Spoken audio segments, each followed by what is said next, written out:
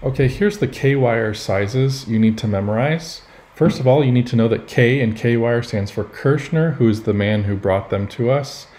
You need to know that uh, there's a measurement in both inches and millimeters that are used interchangeably in the operating room, so you need to know both those numbers. And then that every pin size has an associated cap, a little plastic ball uh, with a color that's universal across the US. Okay? So I don't have a good way of memorizing this other than, than just blunt repetition, um, but it worked for me. Uh, it can you can do it too.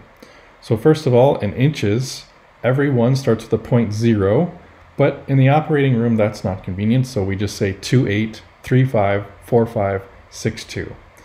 The conversion to millimeters is 0.7, 0.9, 11, 16. Okay, and that makes sense because uh, obviously, a one millimeter K-wire sounds possible for a width, but uh, one inch width K-wire is crazy, right? So that makes sense why it's a 0.045 and a 1 1 millimeter, okay?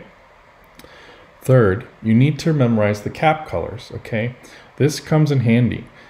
The phrase you need to memorize is your bones wire great. Okay, so Y is for yellow, B is for blue, W is for white, and G is for great, uh, green, sorry. So your bones wire great, and that comes in handy because attendings and residents and nurses, they don't spend the brain power to memorize these things. The doctor will just say, nurse, can you get me the pin cap for this 62K wire? And they're gonna have to go dig through a bunch of pin caps and try and figure it out, and it takes a while. Well, you can look really smart if you just say, oh, that's the green one because they can go in the cabinet and just grab the green ones and hand it to you. And it's uh, you look really impressive if you can do that because they don't spend the time to memorize those.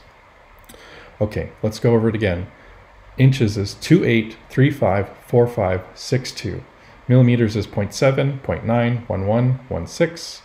Your bones wire great. Yellow, blue, white, green. Okay? And that's it.